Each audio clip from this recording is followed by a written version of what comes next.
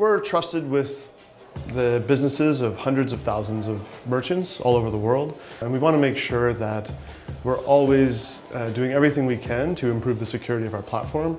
And one of the best ways to do that is to have as many people as possible looking for ways to uh, infiltrate our systems or find vulnerabilities in the software that we build. And so we feel that by having an open and transparent bug bounty program, we're able to ensure that if someone does find a security issue, they're going to come to us with it first. We were really happy to get to meet the hackers face to face. And we were really impressed with how the hackers were dedicated to the kinds of bugs that we wanted to find.